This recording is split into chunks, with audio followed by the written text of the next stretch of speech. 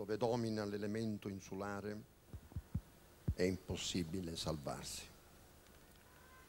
Ogni isola tende impaziente di inabissarsi.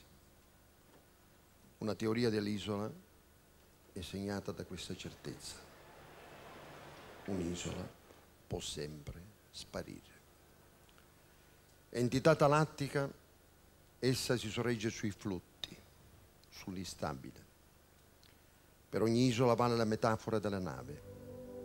Vi incombe il naufragio. Il sentimento insulare è un oscuro impulso verso l'estinzione.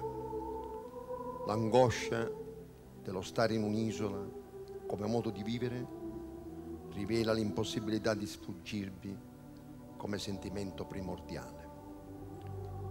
La volontà di sparire è l'essenza esoterica della Sicilia.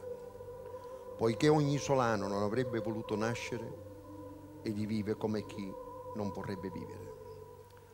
La storia gli passa accanto con i suoi odiosi rumori, ma dietro il tumulto dell'apparenza si cela una quiete profonda. Vanità delle vanità è ogni storia. La presenza della catastrofe nell'anima siciliana si esprime nei suoi ideali vegetali, nel suo tedium storico, fattispecie del nirvana. La Sicilia esiste solo come fenomeno estetico, solo nel momento felice dell'arte quest'isola è vera.